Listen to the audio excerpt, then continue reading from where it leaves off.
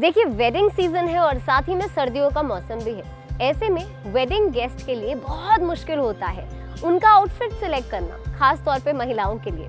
क्योंकि अक्सर वो खूबसूरत तो दिखना चाहती हैं, लेकिन साथ ही में वो अपने स्वेटर या फिर शॉल से अपने लहंगा या साड़ी को ढकना नहीं चाहती। लेकिन उसके साथ ही अपनी हेल्थ के साथ समझौता भी नहीं करना चाहती।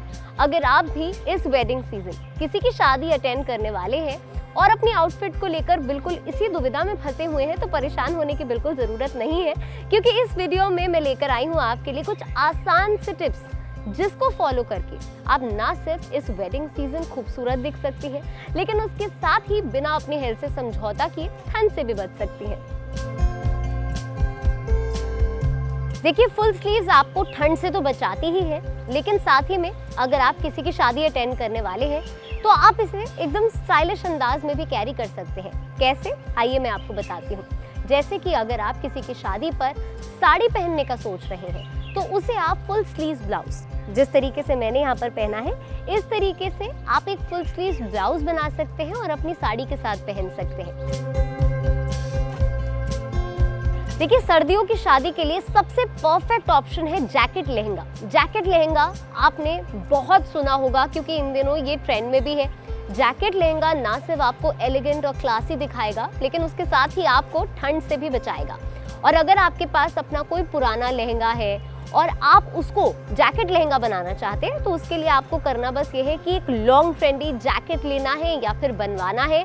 इसको आप न सिर्फ़ लहंगा, बल्कि साड़ी और अनारकली के साथ भी कैरी कर सकती हैं। और सबसे खास बात आपको मैं बता दूँ कि अगर आपकी जैकेट पे थोड़ी सी एम्ब्रॉयडरी हुई हुई है तो वो आपके लहंगे को और भी क्लासी लुक देगा।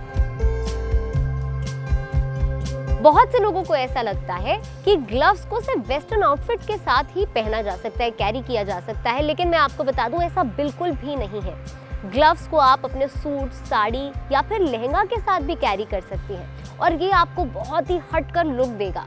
यकीन मानिए, आप ये ग्लव्स नेट के ले सकते हैं या फिर आप वेलवेट भी सिलेक्ट कर सकते हैं या फिर फ्लोरल मोटिव वाले ग्लव्स पहन सकते हैं अपनी साड़ी के साथ सूट के साथ। यकीन मानिए, आप बेहद खूबसूरत लगेंगी। अगर आप भी इस शादी के मौसम में कुछ ऐसा पहनना चाहती हैं जो ट्रेंडी लगे, लेकिन आपको ठंड ना लगे तो आप फर वाली जैकेट्स पहन सकती हैं फर कोट पहन सकती हैं और इसे अपनी साड़ी और सूट या फिर लहंगा के साथ कैरी कर कर फ़ैशन फैक्टर बढ़ा सकती हैं। देखिए, सर्दियों के मौसम में पैरों को गर्म रखना बहुत ज़रूरी होता है, क्योंकि ऐसा ना करने पर बीमार होने की संभावनाएँ बढ़ जाती हैं। और अगर आप भी किसी विंटर शादी में जाने वाले हैं और अगर आप सॉक्स पहनने की सोच रहे हैं तो आपको बता दूँ कि सॉक्स से आप खुद को ठंड से तो बचा सकती हैं, लेकिन आप इसके साथ खुले सैंडल्स बिल्कुल ना पहने, क्योंकि वो सॉक्स के साथ बिल्कुल भी अच्छे नहीं लगते और साथ ही में आपके लुक को भी ये ख़राब कर सकते हैं। इसके लिए आप एक काम कर सकती हैं कि आप एंकल लेंथ सॉक्स पहन सकती हैं और इसके साथ आप बेली या फिर पम्प शूज़ पहन सकती हैं। और अगर आप ये भी ना करना चाहें तो आप स्निकर्स पहन सकती हैं। यकीन मानिए, आजकल स्निकर्स को लहंगा या साड़ी के साथ पहनना काफ़ी ट्रेंड में है। इससे आप कंफर्टेबल भी महसूस करेंगी और साथ ही में स्टाइलिश लगने के साथ साथ खुद को ठंड से भी बचा पाएँगी। विंटर फ्रेंडली फैब्रिक और वो है वेलवेट और वेलवेट की सबसे खास बात आपको पता है क्या होती है?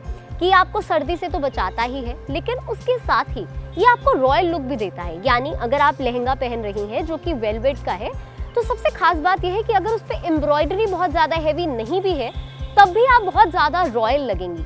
तो आप या तो वेलवेट का लहंगा पहन सकती हैं, वेलवेट का सूट पहन सकती हैं, और अगर आपके पास ये नहीं भी है तो आप अपना नॉर्मल समर्स का लहंगा या फिर सूट पहन सकती हैं और इसके साथ आप वेलवेट का शॉल या फिर वेलवेट का दुपट्टा वेलवेट का ब्लाउज और वेलवेट से बनी जैकेट्स का भी यूज़ कर सकती हैं। ये आपको ट्रेंडी लुक देगा, साथ ही में आपको सर्दी से तो बचाएगा ही।